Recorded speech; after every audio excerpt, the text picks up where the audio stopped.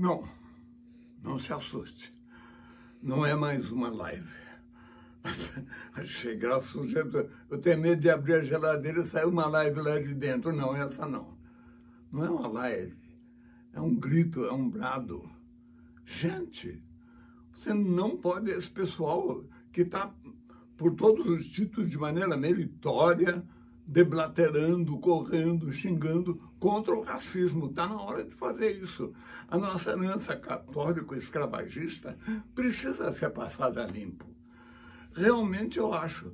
Mas cuidado para não cometer uma espantosa iniquidade, como foi essa de apedrejarem, quererem destruir a imagem do padre Antônio Vieira. O padre Antônio Vieira foram lá, pintaram, apedrejaram. São de uma ignorância espantosa. O padre Antônio Vieira nasceu em 1608, 608, em Lisboa. Você não, não pode julgar as pessoas dessa época, desse tempo, com os parâmetros de hoje. Parâmetros morais, científicos, culturais, de hoje. Não pode. É uma iniquidade, é uma loucura. O Colombo também, mas o padre Antônio Vieira, especialmente, é uma tragédia, uma iniquidade teria apedrejado a imagem dele. Ele nasceu em Lisboa em 1608, filho de um servidor do Conde do União, no Solar do União, um servidor e uma escrava de São Tomé. Ele era filho de uma escrava de São Tomé que, que, que, carregou essa coisa terrível, trágica, no dizer dos biógrafos antigos, esta mancha no sangue, durante toda a sua vida. Tentaram, inclusive, limpar-lhe o sangue para dar ele títulos nobiliárquicos em Portugal.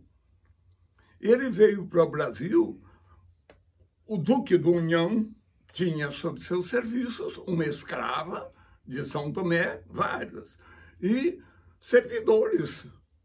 Um desses servidores, o Antônio Ravasco, Antônio Vieira Ravasco, pai dele, se engraçou-se por uma escrava de São Tomé, também uma coisa da época, e tiveram um filho. Esse filho, Antônio Vieira Ravasco, filho. Mas o Duque, o velho Duque da União, suportou isso, solene, soberanamente, como convinha um duque, suportou o que os biógrafos chamavam de a mancha no sangue. Essa coisa aterradora, né? E o menino foi até que morre o duque. Os, os descendentes, os, a nobiliarquia lá da, da casa, não suportou a mancha no sangue e mandou embora o velho pai do Antônio Vieira para Bahia, com o filho que veio para Bahia, desterrada, claro, porque tinha o sangue manchado, não conseguiram limpar-lhe o sangue, para Bahia, para onde ele veio com seis, quatro anos de idade. Com seis, ele foi matriculado para as primeiras letras no Colégio dos Jesuítas. Aí revelou-se um gênio para a catequese, para a oratória. Os sermões do Padre Antônio Vieira são coisas, são pedras lapidares que servem maravilhosamente à língua portuguesa. O Fernando Pessoa chamava o Padre Antônio Vieira de o imperador da língua ou a catedral da língua. Tudo a nosso serviço, a serviço do gentio. Pois bem, no nosso serviço de brasileiros, caboclos, índios tal a nossa língua, é que era chamada, era tratada por ele como se fosse o imperador da língua. Mas ele foi no colégio dos jesuítas, ele virou o gênio que todos conhecem, né? não é? Ah, olha, é, tá meio comprido, né? Capaz de ter ficado muito chato. Se você achar que tá chato, dá uma paradinha, assiste o resto amanhã ou depois, tá legal? É lindo, é lindo. Pode te garantir que tem um sermão do Padre Antônio Vieira, é lindíssimo, ok? Então ele foi matriculado no Colégio dos Jesuítas e, e aos 18 anos de idade já era professor no Colégio dos Jesuítas. Tanta genialidade que insupitável, como ele diria, né? Era um, um, mas um, um gênio, né? O Manuel de Oliveira, um outro gênio com quem eu trabalhei, tive a oportunidade de fazer dois filmes, eh, era o, diretor de cinema, laureadíssimo, premiadíssimo, ele filmou o padre Antônio Vieira. E teve uma ideia genial para fazer esse filme, muito condenado pela elite portuguesa né, de agora. Me convidou-me a mim para ser o padre Antônio Vieira. Em Portugal fizeram um brasileiro, o padre Antônio, os mais pedantes de Lisboa, especialmente. No norte não tem muito essa coisa, não. Um brasileiro. Acontece que o padre Antônio Vieira era caboclo, como eu descendentes de portugueses e negros, europeus e negros. O padre Antônio Vieira era filho de europeu e uma negra, uma escrava da África. Vocês estão apedrejando a estátua dele em nome do antirracismo. Bem, o filme é esse aqui, ó. Ninguém viu, ninguém viu. Não se preocupe, você não viu e ninguém viu esse filme. E especialmente os meus colegas, lá onde eu trabalho há 51 anos, Nenhum me falou disso. A direção, então, acho que nunca tomou conhecimento. Direção artística, eu digo, né? E tinham três, ele convidou três atores para fazer um Manuel de um, o Antônio Vieira. Este aqui, que fazia o padre Antônio Vieira até os 18 anos de idade. Este aqui, Luiz Miguel Sintra, um dos maiores atores da Europa, para fazer o Antônio Vieira dos, dos 20 aos 56 anos. E este aqui, para fazer o padre Antônio Vieira no ocaso, no fim da vida. Era, era eu. Bem, o, o, em, aos 18 anos de idade, o padre Antônio Vieira, já professor, já dando aula no, no Colégio Jesuítas, na Bahia, no, ele foi, é fundador da Companhia de Jesus, o padre Antônio Vieira ele dá aos 18 anos de idade a grande, a definitiva lição que o padre Antônio Vieira deu aos 18 anos de idade. Os alunos perguntaram a ele, padre, o que podemos fazer para ajudar o gentio? O gentio, na Bahia de então, eram espanhóis, franceses, portugueses, africanos, brasileiros, uma Babel. Padre Antônio Vieira diz, aprende a língua deles.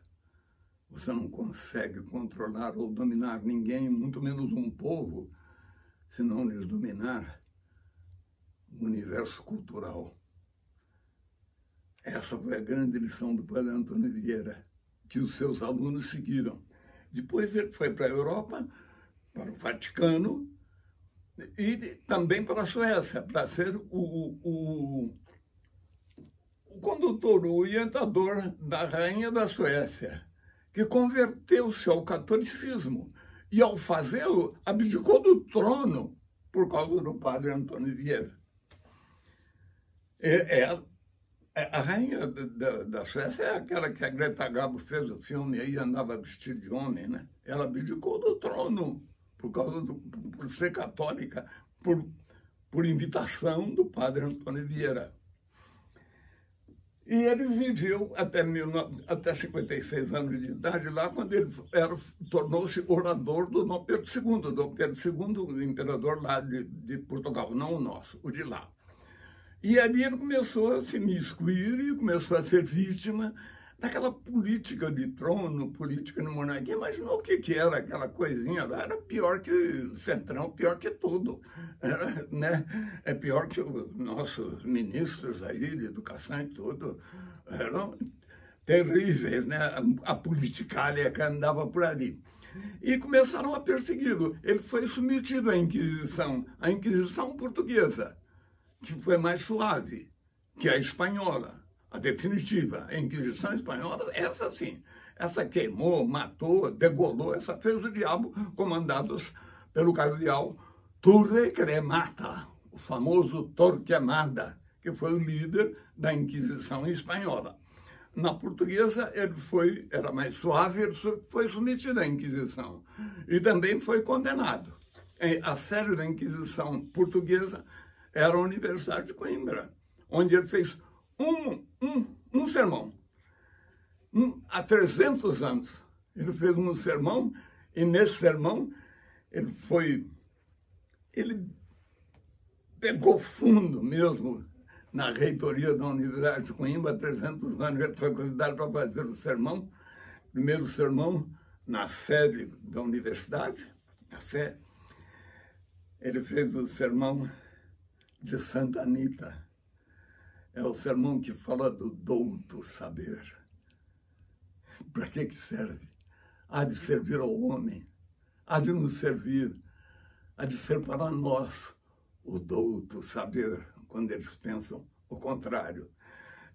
A Santa Anita era uma, morreu aos 19 anos de idade. Ela desafiou os sábios do Oriente, os 20 e tantos sábios do Oriente, e os venceu a todos na sabedoria, na oratória, na inteligência, na cultura. Por ela ter vencido os sábios do Oriente todos, eles mataram ela, degolaram a Santa Anita. E esse sermão do doutor saber é sobre a Santa Anita. E para que serviu o saber dela? Bem, eu, eu, eu, na ocasião dos 300 anos, eu fui lá repetir esse sermão. E veio ter comigo, vindo do Porto para Lisboa, são cerca de 400 quilômetros, para Coimbra, cerca de 400 quilômetros, o Manuel de Oliveira. E o Manuel de Oliveira, depois que pôs o filme na moviola, viu, viu, viu tudo, viu tudo em detalhes, era, tinha 90 e tantos anos, ele enxergava mal e eu via mal, mas era um gênio. E, ele falou assim, mas esse ator, é, ele, ele, graças a Deus, adorou o meu trabalho.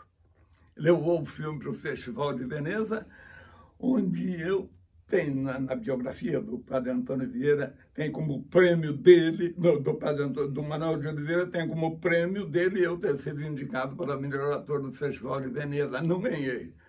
Quem ganhou foi um, foi um ator espanhol que fez uma, uma atuação devastadora, uma coisa impossível de se ver, de se assistir a todo momento, fora desse naturalismo de consumo dos filmes americanos, ele interpretou o Javier Bardem, interpretou um tetraplégico. Vocês lembram um filme que fala do, do mar, do mergulho que ele deu mal sucedido no mar, quebrou e ficou tetraplégico.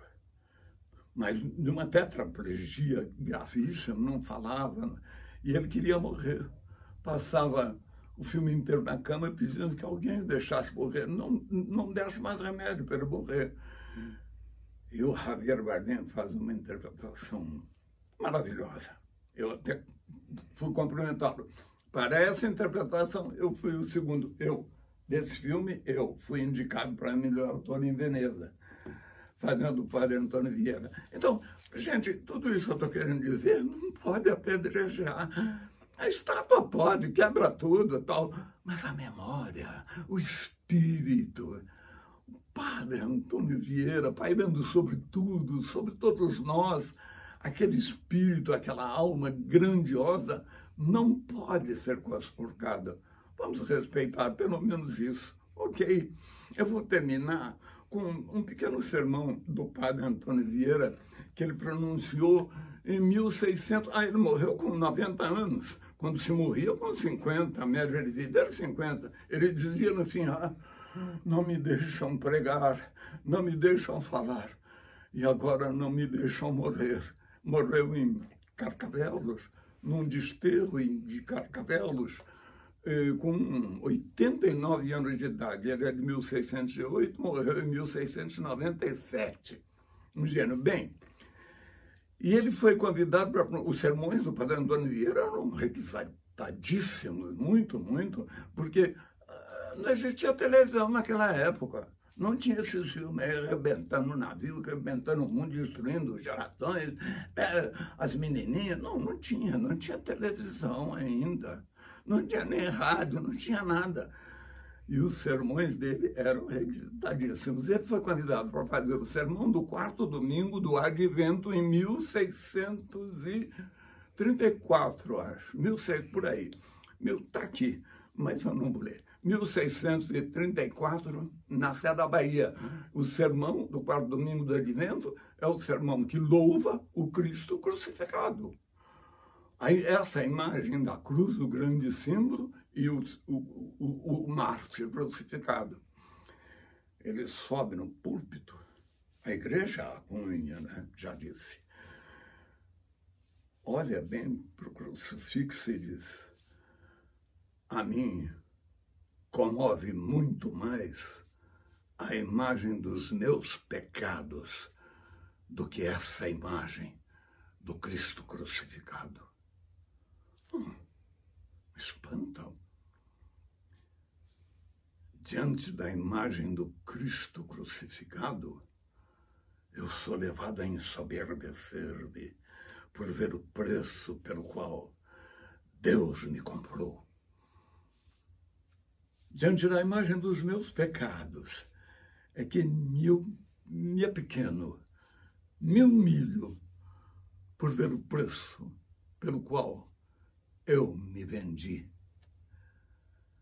Quando noto que Deus me compra com todo este sangue, sou levado a pensar que eu sou muito, eu valho muito. Mas quando vejo que eu me vendo pelos nadas do mundo. Aí é que me lembro que sou nada. Eu valho nada. Esse é o sermão do quarto domingo de Advento pronunciado na Bahia. Senhores, apedrejar a memória do padre Antônio Vieira é um crime de lesa sabedoria, é um crime de lesa literatura, é um crime. Por favor, Chega de ignorância, estupidez. Isso não. O padre Antônio Vieira não. Ele era filho de um nobre servidor, de um servidor no solar do União, com uma escrava de São Tromé. Quando ele veio para a Bahia, a mãe sumiu nas senzalas, não soube mais dela a não ser que os senhores me façam lembrar da mãe do padre Antônio Vieira. Desculpa, muito obrigado. Quando eu vi apedrejarem, mancharam com tinta, sujaram a estátua do padre Antônio Vieira, me deu uma coisa que me remete a Camões. Eu fiquei assim. Camões tem um versinho dele lindo, que eu dedico ao padre Antônio Vieira e aos que apedrejaram sua imagem, a sua estátua. Há dias em que na alma me tem posto um certo não sei o quê, que nasce não sei onde, vem não sei como e dói, não sei porquê.